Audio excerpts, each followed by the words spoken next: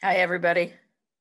Thank you so much for joining us tonight for the salon. I know you could have lots of other places that you uh, might have chosen to be at, uh, but here we are in this moment after this horrific insurrection that happened uh, yesterday here in Washington, D.C. at the Capitol building. Uh, that was um, a horrifying sight for all of us and an experience, I think, for the entire uh, country as we watched white nationalists uh, who were really domestic terrorists uh, storm the Capitol building and put everyone and democracy in a place that is absolutely painful in this moment. So we're going to talk about that a little bit tonight um, and also talk about some glimmers of hope uh, within it. Uh, this is our weekly program uh, where I interview innovative thinkers and creative firebrands. And, uh, you know, we're living in a critical time in American history with the COVID 19 pandemic, a vital social justice movement led by Black Lives Matter. And we try and bring together a group of guests and leaders discussing new ideas. And I think it's more than try. I think we uh, succeed. Uh, I've been so pleased at the wonderful guests that we have. And tonight uh, we have a wonderful group of four. We talk about how they're coping with the coronavirus, making positive so- social change. My guests this evening are Eleasha Gamble, actress, Sarah Rosen Wartell, president of the Urban Institute, and Ashley Forman and Mauricio Pita from Arena Stage's Voices of Now program. Eleasha is an accomplished actor native to the Washington, D.C. region who performs all over the country. Arena audiences will remember her from Oklahoma and Oliver and many other performances. And Eleasha, when you come on, I'm going to tell you how wonderful it is to see you. There you are. Hi, Eleasha. Hi. How are you? I'm good. I'm good. I'm good. And I'm really, really happy to be with you, Eleasha. Yes. I'm going to actually start with a fun question, then I'm going to get to something serious. I'm just thinking about back to our historic collaboration on Oklahoma that opened our new center, the Mead Center, a little over 10 years ago, if we can That's believe. That's insane. 10 years but also historic because we cast you as Laurey and Nick Rodriguez as Curly. And it was really uh, the first time that uh, the show, and the show was a cross cultural show in terms of its diversity. It was the first time that the show had been cast in this way, not with, with all white characters. We were mm-hmm. breaking so many barriers with that production. And in the current day, with fervent calls for racial equity, uh, do you think back on that as well? Absolutely. I mean, you know, here we are, like you said, it's 10 years since we did that. And, you know, I still have people talk to me about it, you know, even in auditions this far away who, you know, whether they saw it or not, who will see that on my resume and go, oh, you were in that production. Like it still comes up. And it's obviously still resonating in the fact that we've had so many various versions of Oklahoma since then that have kind of taken that idea and run with it. And I think we're seeing that also with with other shows as well. But it highlighted how important it is for us to see the world that we all inhabit and to see that we, you know, belong in this world. Like the idea of just this monochromatic world doesn't exist. Even then, it didn't exist. And kind of infusing that diversity in these gems that we hold so dear is a reminder to people who look like me to go, you were there too. This is your story. This is the, you know, in the case of Oklahoma, this is the American story. This resonates with you. And I remember when we were when I was learning the music, and George, our wonderful departed uh, music director and friend, um, was going over the music with me. and was like, "Oh, well, you know these songs." And I remember telling him, I was like, "George, I don't know these songs. I never had any inclination to learn these songs because there had never been a Laurey that looks like me. It was never on anyone's radar that I would play this role." And so I learned from the show and I learned to love it. And it's one of my, you know, a, a treasured memory was doing that show and having these talkbacks with audience members who would ask us, oh, well, certainly you changed words. Certainly you changed things uh, in the show. And it was such a delight to be like, no, this is the same show. You're just hearing it and feeling it in a different way because you are seeing different people inhabit these roles. This is the world we live in. We all exist here together. It's so beautiful, Eleasha. You know, um, it's it's an example of where theater can actually change minds. Absolutely. Just through interpretation. And uh, or at least put a little burr in somebody's brain to look at something in a different way. And here we are in the middle of Washington, D.C., both of you and I. And yesterday was shocking. It continues to be shocking today. There are uh, uh, ripples that are running through our city and kind of oceans running through our city, I would say. Yeah. And I just want to know how are you in the middle of this? Because we know if it was Black Lives Matter out there, people would have been killed. If it were Native American people out there, it would have been a bloodbath. And mm-hmm. here we see white nationalists come in, almost welcomed into the Capitol building. It was it was devastating. Um, you know, we were we were online yesterday when we kind of got the notification that the Capitol had been breached, and I remember looking at my phone and looking at the images and my jaw dropped. I mean, I've been to the Capitol building and a few times I've had that honor and I know how beautiful that building is. And there is such a feeling of awe when you walk through those halls, those hallowed halls of our country, of our government. And it's such a wonderful feeling of welcoming and, and, and, and grace. And to see it being desecrated was heartbreaking. But then to see that there was seemingly no pushback. There was nothing stopping them. It lasted for hours. And then it became anger as well as just heartbreak to see this this happen and and knowing the knowledge that if it were a bunch of people that looked like me they never would have even gotten that close i mean anyone that lives in dc knows how secure those buildings are you can't go into the capitol building without a purse you have to go in with an invitation or by you know like someone has to like to to, to you know some you get invited to go and then you know you, you have to go through so many steps and hoops to get through there and to see these people come in with backpacks so many things. It was it was devastating. And it definitely i think for the entire country and world um, put on clear display that there is huge problems in how we treat people in this country that there are clearly there is something fundamentally wrong with how we treat people in this country, how we police people in this country. And I don't think people can deny that as much as people would like to say, oh, well, it's because of this, it's because of that. They were outnumbered. No, because we have seen time and time again, even when people are being peacefully protesting, you know, getting killed indiscriminately, they are still beat over the head. They are still pushed. They are still shoved. I mean, we just recently saw protesters who were protesting Mitch McConnell in wheelchairs get taken out.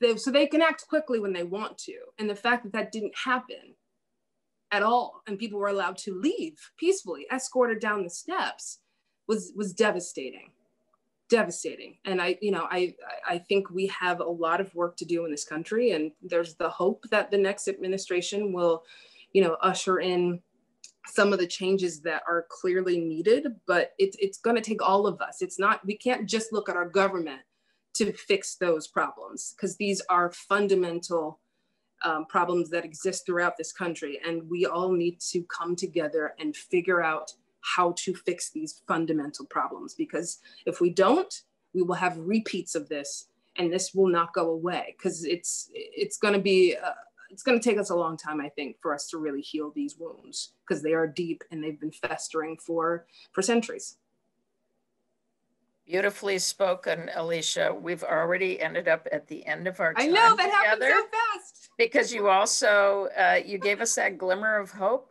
Eleasha. You know, if we all face it, if we all move into it, if we make changes in our lives, if we recognize it, if we have eyes wide open and speak out, there will be change. Yeah, because I think it's clear we all love this country. We wouldn't be so passionate if we didn't love this country. Like, if that is just our one unifying factor, let that be that. We all love this country. We don't want the experiment of America to fail. Absolutely. I love seeing you, Eleasha. I love seeing you too. Thank you so much for coming on. It's beautiful to see you. My pleasure. Thanks for having me. Bye.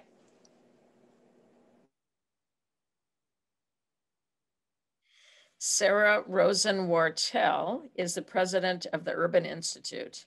And Urban is an economic and social science research and policy organization whose more than 550 researchers, experts, and other staff believe in the power of evidence to improve lives and strengthen communities. Sarah has said, I learned the value of having solid, solid data-driven analysis to inform policy decisions when I served in the White House. Urban is uniquely positioned to elevate the debates happening in Washington and in state capitals and city halls across the United States. We have more than five decades of experience conducting the highest quality policy research modeling capacity that enables us to assess the potential impacts of a wide range of policy scenarios and expertise spanning an unparalleled breadth of issues. And boy, do we need you now, Sarah. boy, this is a moment. It's great to be with you, Molly. Thanks so much. Great to be me. with you. It's great to be with you. So, yesterday, we saw an insurrection at the Capitol.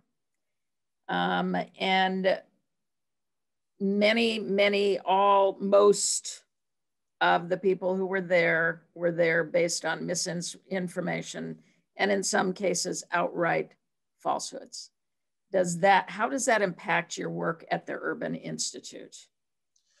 Um, thanks. Um, you're exactly right what we saw yesterday was the consequence of living in a world where there are alternative facts, um, where uh, it is okay to create um, a, a, an alternate universe for people where they can live on, on the on the beliefs or on the um, with the information swirling around them that supports somebody's interests. And we know that there are parts of the media and the business community and um, uh, many across society who have um, found common cause with uh, a leader.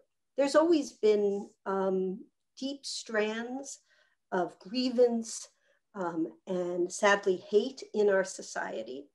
But when it's enabled from the White House, when it's enabled, when, when leaders in Washington are willing to um, allow the kind of deception that we've seen uh, flourish over the last four years, um, I, I, you know, yesterday was horrific um, and terrifying in so many ways. I've had to deal with my 15 year old child, you know, trying to understand what world this is. But maybe, just maybe, um, this is also a sort of litmus test, a moment when we see the consequences of falsehood and truth. And so much of our work is about finding the facts, finding the evidence, debating what worlds we live in, but also what world we could create if we changed rules and changed policy. So um, I'm trying to hold on to some hope after yesterday, um, but it definitely shakes us to our core um, to see the, um, how far we've come and how far we have to come back. I love that, Sarah. And I think it's true that this is a little glimmer of hope that we can grab onto. I, I loved also what you said about creativity, and I'll take it even further into imagination. How does that inform your work where you are? Well, it's interesting. We're building full of, we're actually a, a diaspora at the moment, but we are a community of social scientists, researchers, data scientists, um, also policy experts and communications pros. But our core contribution is to leverage facts, evidence, find them, and to be able to try to measure and model what works and what doesn't to solve problems in people's lives. And um, uh, we've shown over the last uh, decades, but especially the last four years, that you can have the best facts in the world and you aren't necessarily persuasive. And um, psychologists tell us that people don't absorb information easily. They kind of deflect it if it doesn't fit a worldview that they already hold.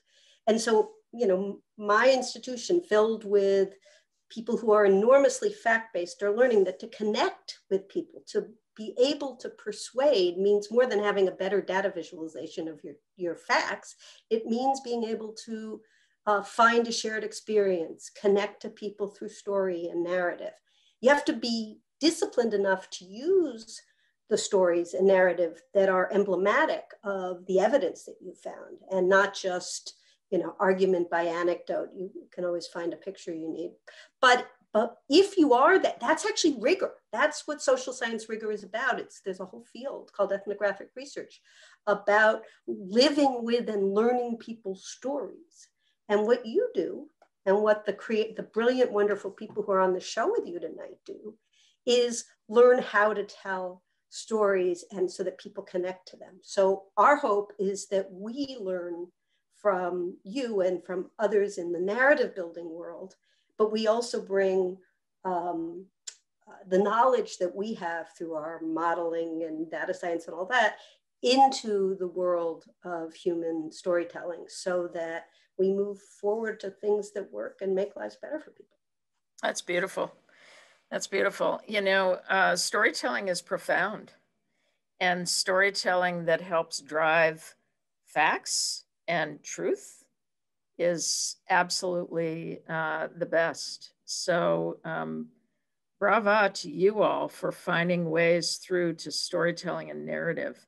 And if you ever need any support in that, we at Arena Stage stand ready to support you. We have many literary advisors and dramaturgs and uh, people who deal in storytelling all the time and are able to take disparate threads together to help build the stories. So let us know. You know, we just moved to your neighborhood in uh, Southwest DC. And so I look, you know, and all of us surrounding the Capitol, we just, one of the ways that people connect to story is when there's a shared experience. Yeah. And this terrible moment that we just had was a moment where almost every American had the shared experience of watching the um, Capitol being breached and watching the, the fury and the fear in our hallowed halls. And so there is something in that moment when we can try to shape minds and perhaps uh, build from it. And so it is going to take the different kinds of tools that your institution and mine have working together to make some progress on that. Absolutely. Absolutely. We only have about a minute left, but I'm really curious when uh, you read, what do you read? Do you read nonfiction? Do you read fiction? Uh, do you read uh, newspapers? Do you read things online? What is what gives you fuel? Uh, well, generally my um, escape is fiction, but these days I haven't had the attention for it. If I'm really honest, it's it's hard. I do read for a living through multiple media around me, and so some days, you know, honest truth, I I binge stream uh, to relax but I am reading and listening. I've taken to doing my exercise listening to books. I find that is a way to get information. And I've been reading um, right now, actually sampling from both of Isabel Wilkerson's books, Caste uh, and also The Warmth of um, uh, Other Suns. And Other what Suns. I like about The Warmth is that it is the stories of people. And Caste is a bit more of a thesis. And so I find in going back and forth, the same themes are in both. Um, it's a little clearer in Caste in some ways as she came to it, but there's it holds you when you read the the stories in the work of other sons. So I, I it's kind of odd, but I go back and forth between the two. Uh, I do too. I, I usually go back and forth between fiction and nonfiction. And uh, Caste to me is one of the most important books I've read in the last decade. It's essential reading. And it causes us, I was thinking today about my childhood growing up in New York on the Upper West Side of Manhattan in a really diverse, interesting neighborhood, and realizing how much my understanding of racial inequities and from uh, the work we do, from caste, from so much of the um, reckoning that we've had to do in the last um, few months of, of this country, how much my own understanding has had to grow, how much the worlds that I lived in that I thought were inclusive and equitable really weren't. And caste is one of those things that forces you to examine everything in your own life all over again. Absolutely. Well, and highly recommended to everybody who's listening to the program today. And Sarah, we are out of time. Um, but it was just a pleasure to have you on and thank you so much. And thank you for all of the great work that you do at the Urban Institute. Thank, thank you. you. And to you. Take care. See you in the neighborhood.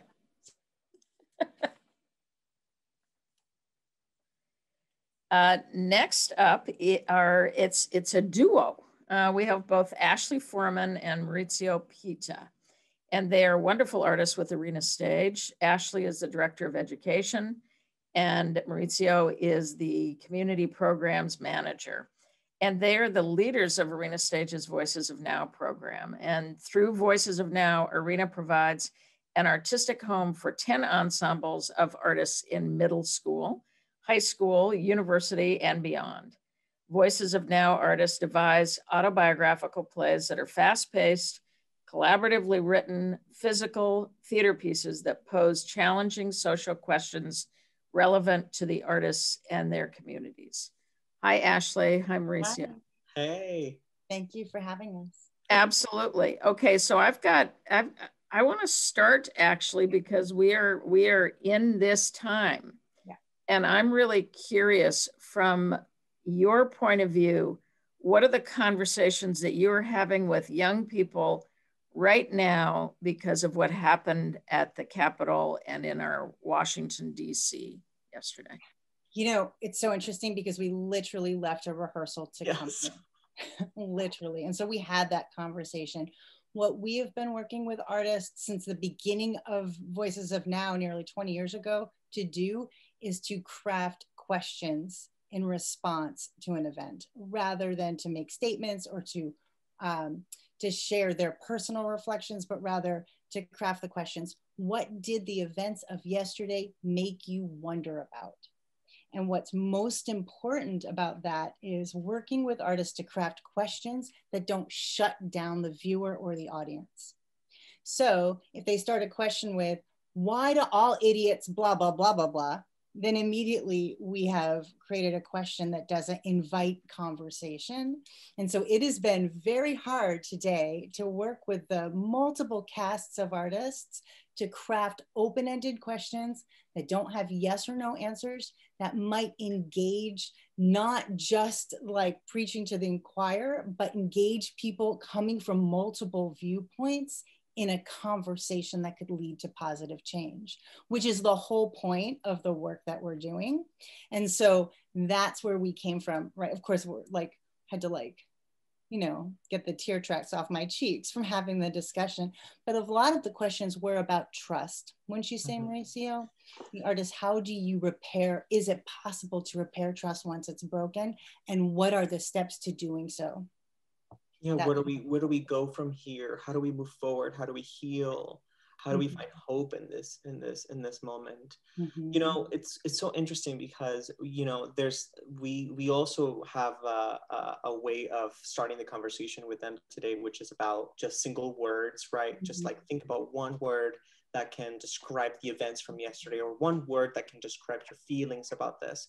Mm-hmm. And there's a collection of words, right, that we get, and when we hear words like resignation, right, mm-hmm. or you know, um, confused, confusion, fear, anger, right? Powerless. Particularly the word resignation to me sort of like hit me hard because it's that sensation of like powerlessness or an ability to do anything. and we had to tell them that the fact that they are willing and and and and and willing and open to express themselves and that things are impacting them so deeply is the thing that gives me hope in a way mm-hmm. right it is the thing that drives us forward to say you care so much about this i know that the future generations that you when you become the, the people in charge mm-hmm. that we're going to be in good hands because you care about this so much and when we're working with younger artists, because not all of our artists, or some of our artists are, are adult artists, but when we're working with younger artists, particularly, our job is immediate, it's urgent. It's how can we help those artists craft theater or craft film that will create conversation that could help lead to the world that they need? Because it is their world very soon. So, with the events of yesterday, yes, they are resigned, they are sad, they are powerless. And so, what are the essential questions that need to be asked to ignite the conversation that is necessary to have right now mm-hmm. with their parents, with their teachers, and with their community? So, that's where we were. We were trying not to stay in a place of fear and powerlessness, but figuring out how can we mobilize our artists to be able to engage people in conversations who might not believe the same things that they believe. And that is, of course, very hard, but we work with extremely brave theater makers and filmmakers. You know, what's so incredible, and I think there are going to be some audience members who haven't seen your work before, but now you can see Ashley's work, Mauricio's work, the work of the young artists in a film called Inside Voices. All you have to do is go to Arena Stage. Mm-hmm. Go to Arena Stage, go to our webpage, pull it up. Mm-hmm. And it's only an hour long. And I think you all will be fascinated to experience this project because you have about what 140 150 mm-hmm. young people who have under your guidance who have created this content. And mm-hmm. you can see from the kinds of questions that Ashley and Mauricio are asking, these young people are totally on fire because you guys are on fire. You are mm-hmm. fearless about investigating um, some of the trickiest aspects of what it means to be a human being. So you guys are working online. Mm-hmm. I mean, you're not you're you're not live. Are there things that you've learned from working online, other than the fact that you now are filmmakers, um, that you want to take with you when you get back in person? That's a great question. It is an amazing question. I think some of the most incredible opportunities have come from the fact that we can't work in person. We have had the opportunity to use animation to use photography, to use songwriting, uh, we realized that we had to engage the full artist in a way that we never had before. And that is something that I never want to lose. I understand that when we're theater makers, that we have a very specific aesthetic and style as uh, Voices of Now theater makers, but to engage the entire artist and the way that we have been is something that has completely opened up the opportunity to have deeper conversations and create even greater change with the work for me. Mauricio? I think we've learned a lot about how uh, their interactions with one another, uh, like, and uh, one, some, I want to give you one example that I think it's really interesting, right? Like, okay. you know, uh, young artists and young students that are starting a school year online that they don't know anybody in that new school right because everything has been virtual. The kind of conversations that we're having with it with them about this has sort of informed the importance of like personal connection. And and to me having it virtual is kind of an interesting experiment of like the kinds of of, of the impact that this is having. And in terms of carrying that through is like how do we then uh, continue to expand on that curiosity mm-hmm. about our human interaction after we go back to to being in person? Or do we back fully in person? What stays? What stays is the mm-hmm. big question. I don't know. So interesting isn't it? Because with you, with Eleasha, with Sarah, we're all having conversations about imagination mm-hmm. and uh, curiosity and uh, kind of like like like the big questions. Yeah. And here we are in this moment that in some ways is even though we knew something like this was going to happen, what happened at the Capitol, there's a failure of imagination. Mm-hmm. Or is it a failure to believe your imagination? Right. I'll say this from the moment that we learned that schools were going to be closed back in March, right? Ashley and myself, we dove right in and we said, mm-hmm. the conversation can't stop. We can't stop, right? This is an opportunity for us to continue to work and have a conversation with them. So in a way, the schools even knew they were closing. Yeah, we yeah. instead. I believe that it opened up like a, a, world of possibilities where it was, I think, easier for us to to say. It's easier for us to say, opportunity. Festival is canceled, opportunities are closed. We saw it as a no, now we have an opportunity to even get artists from India involved, get artists from all over the world involved because this is universal. Everyone is being so seeing the possibility and having that imagination i think and i think you're right mauricio that is one final thing to to really say is that we have been able to to work with artists in croatia and bosnia and peru in bosnia herzegovina in all these different cities in india over the years in this program and now we can again engage them as film actors and filmmakers. That's something i don't want to lose just when we come back in person. Yeah. We want to continue to work with them. Well, I'm sorry to say that our time is up. And I want I want you both to know how happy I am that uh, you are working with young people, with older people, whoever, and opening everybody up to their creative impulse because that's going to save us. That is good. So thank you so much for coming on. Thank you, Molly. Thank you, Molly. Love you guys. Take care. You too. So my guests next week will be Rebecca Campagna, Arena Stage School's program manager, Daniella Topol, who's a director and she directed Arena Stage's Intelligence by Jackie Lawton, and Steve Grundman, who is a senior fellow at the Atlantic Council. Looking forward to that conversation. Today's uh, gift of art, Arena has a great lineup of winter classes featuring classes catering to families, to theater lovers, to students, to adults, and emerging theater artists. So today's gift of art is a real treat, a peek at what's available. See you next week.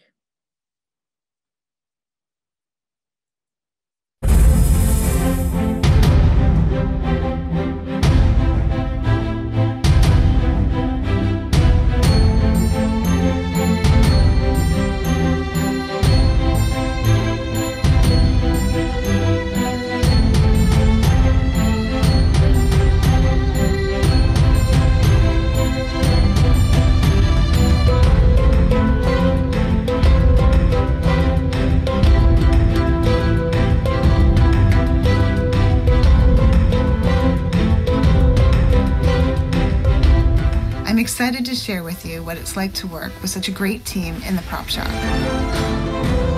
We make the magic happen with the show. We help with the sound and the lights and the moving scenery and everything else going on stage. We're going to talk about the basic fundamentals of lighting design. We're also going to talk about emotional intelligence, which is something that lighting designers use to create all the time.